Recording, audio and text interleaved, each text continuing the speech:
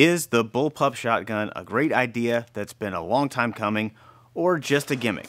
Maybe somewhere in between. Hey, everybody, I am Chris Baker from LuckyGunner.com, and that is what I've been exploring the last couple of weeks. I still don't have a solid answer, but I do have a few thoughts about bullpup shotguns that I want to share today. The idea of the bullpup style shotgun is not new. There have been a few attempts going back to at least the 1980s, but it's only been about 10 years since Keltec first released the KSG, which is really the first commercially successful bullpup shotgun. Several other companies have followed Keltec into the bullpup shotgun market, and now we have more than a dozen options to choose from. Now, most of those are from somewhat obscure or less well-known gun makers. Uh, but there is the exception of Smith & Wesson. They released the M&P 12 earlier this year. Most bullpup shotguns are designed with self-defense in mind. For defense inside a home, the length of a conventional shotgun is often considered one of its biggest drawbacks. The primary purpose of a bullpup design is to make the gun shorter without sacrificing barrel length. Both of these shotguns have 18 and a half inch barrels, but with the action located behind the trigger, the bullpup is a full foot shorter overall. This Keltec KS7 is 7 inches shorter than my registered short barrel Remington 870, 11 inches shorter than my beloved Beretta 1301 Tactical. It has the same overall length as a Mossberg Shockwave, and if you actually aim the Shockwave with the uh, cheek weld technique, it sticks out even a couple inches more than the bullpup. So the length advantage of the bullpup is really unmatched in the shotgun world.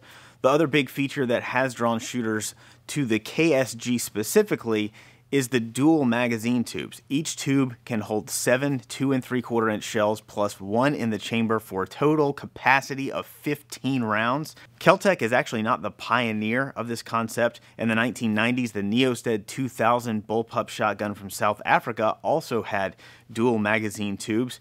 Internally, the two guns are nothing alike, but it is interesting to see Keltec bring back that feature. And they're not the only ones to do that. Modern competitors to the KSG, like the UTS 15 and the M&P 12, utilize dual magazine tube designs as well. The standard manufacturing DP12 has two tubes and two barrels.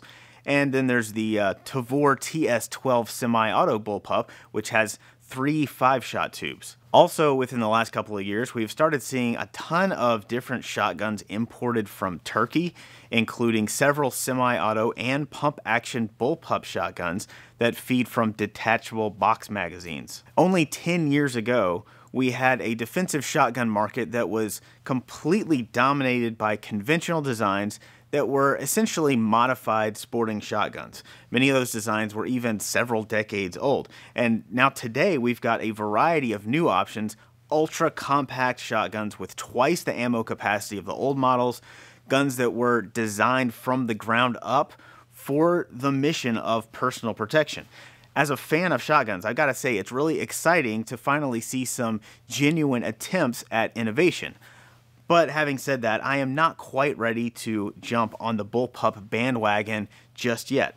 The benefits come with some trade-offs. For the models with the multiple mag tubes, the big trade-off seems to be mechanical complexity. Now that doesn't necessarily mean they are inherently less reliable, but there are more potential points of failure, both mechanical failure and operator error.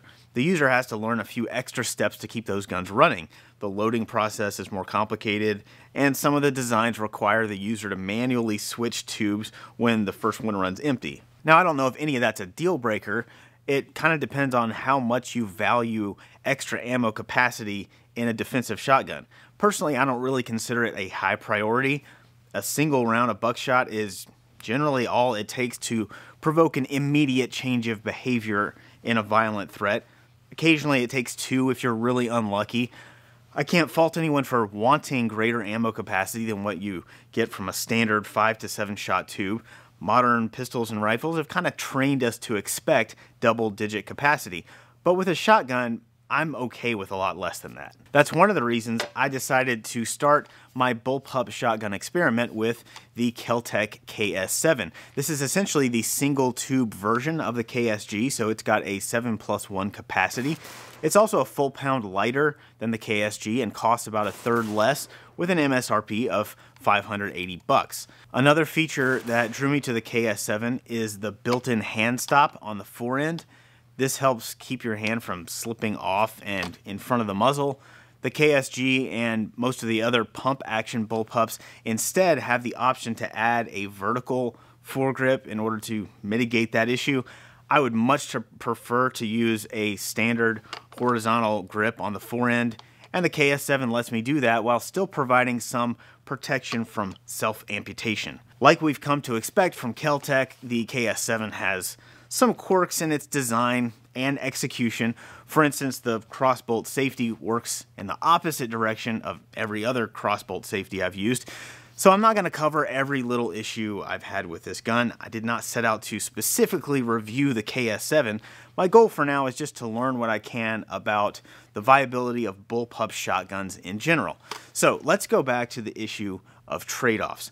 I'm not thrilled with the trade-offs necessary to get extra ammo capacity, but what compromises might be necessary to get the shorter length? Are there some shortcomings inherent to the bullpup configuration itself? On my very first range trip with the KS7, the only thing I really learned is that this gun has absolutely brutal recoil. With my Beretta or my 870, I can shoot 600 rounds in a weekend, and my shoulder always feels just fine at the end of it. I got through about half a box of shells with the KS7, and I was done for the day.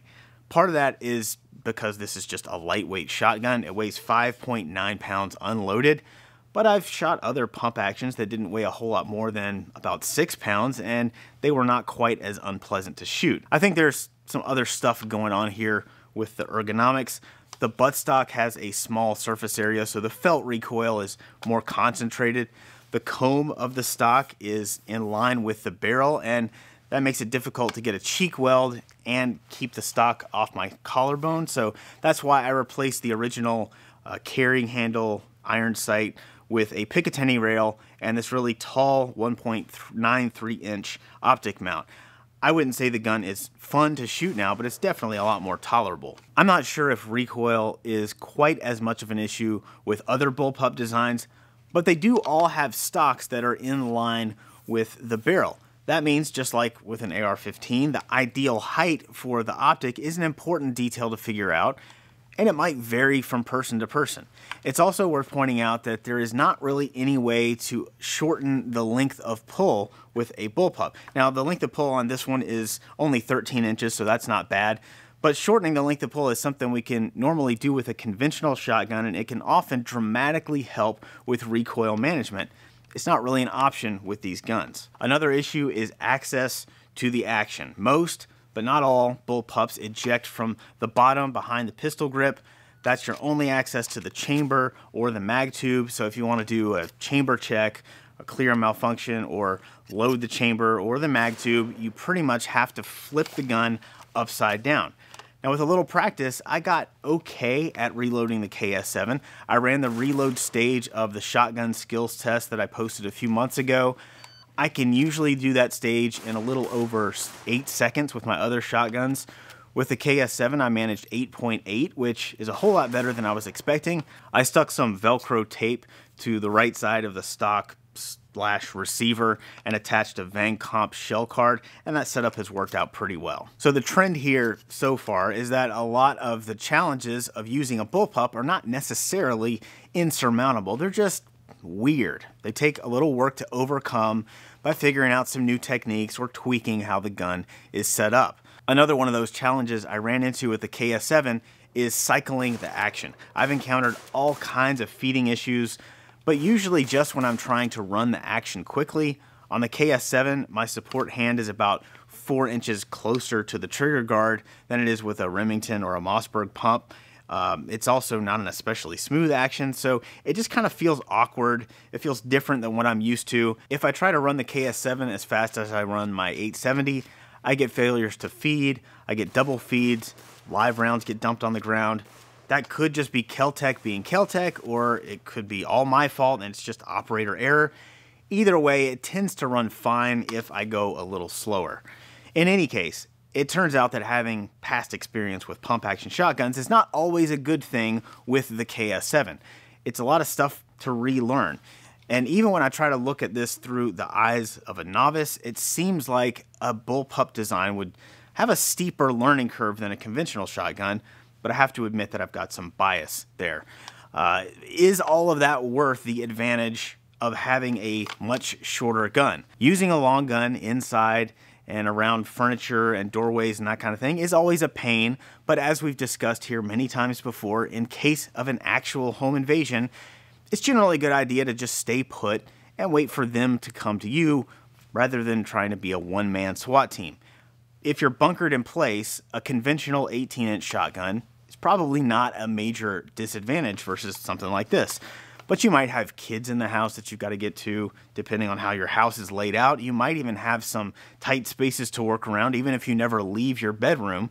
So, the utility of a shorter shotgun is really based on the situation, the environment, and the ability of the user. If we need to drastically shorten a conventional shotgun just temporarily while we move through a doorway or something like that, we can use the short stocking technique that I've talked about before or an under the armpit kind of technique. Short stocking with a 14 inch 870 gives me a profile that's as short as shouldering the KS7, but that comes at the expense of reduced recoil control and reduced accuracy beyond a few feet. So despite the major length advantage, I still don't like the compromises I would have to make to become a dedicated KS7 user. So if I keep this project going, my next step would be to try a different bullpup shotgun probably a semi-auto, but I'm open to other ideas.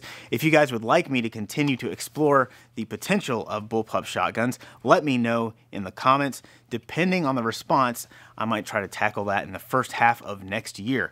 For now, if you found that helpful and you want to show us your support, be sure to buy some ammo with lightning fast shipping from us at luckygunner.com.